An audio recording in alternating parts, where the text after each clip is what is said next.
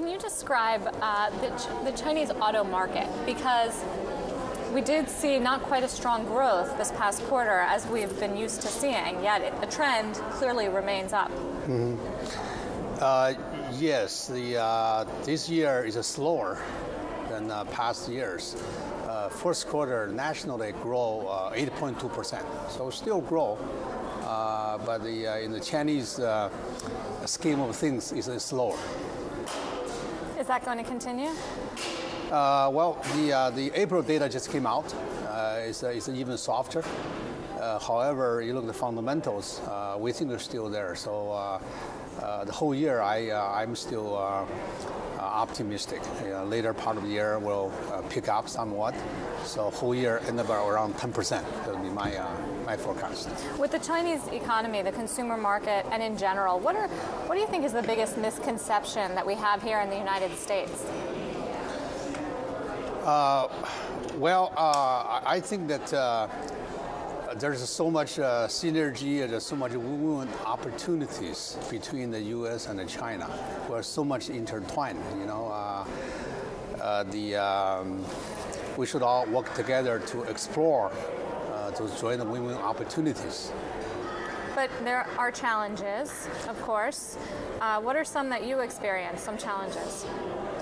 You mean in terms of doing business in China? Yeah. Well, the number one is very, very competitive.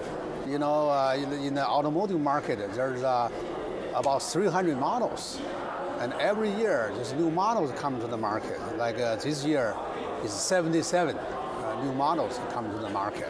Wow. So that certainly is a, is a pretty big challenge. Among other things. right? Economic challenges. What's the biggest risk, you think, to the Chinese economy? Well, the uh, you know there's uh, there's uh, there's inflation on short term. Uh, there's inflation going on, and uh, the uh, uh, last quarter is what 5.4 percent CPI, 5.3. 5.3 CPI, and uh, uh, that's probably highest in um, you know 30 some months. You know, uh, so that's that's that's cause concern. You know, there's the uh, uh, the bubbles uh, in the housing market, uh, in other commodity market.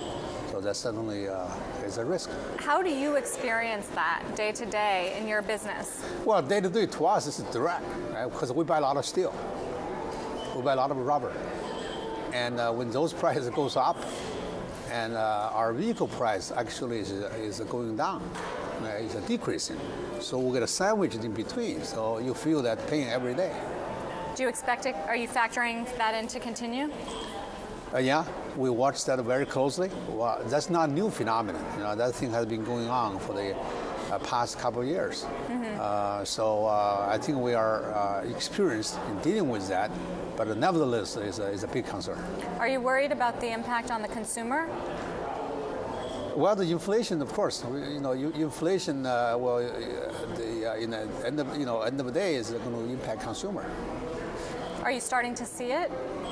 I mean, how can a consumer buy cars when food prices are rising more than 10%?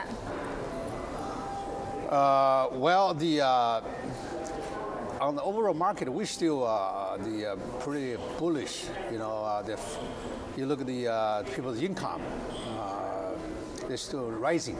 You know, and the recently the some data suggesting there there you know 700 million people. Potential buyers are capable of affording a car. So uh, you look at the market this year, only 20 million. So, uh, so I'm not too overly concerned with the short-term the, the food price increase. What, what are you concerned about in the overall economy? Well, overall economy, as I said, uh, the uh, you know the, the, the inflation, uh, if that thing is not under control, uh, if uh, getting out of hand, uh, that be a, a But demand, concern. but demand you think will stay strong for the autos? Well, the, uh, you look at it, look at the uh, long term. You know, uh, I think it will be around 10 to 15 percent for the next uh, 10 to 15 years.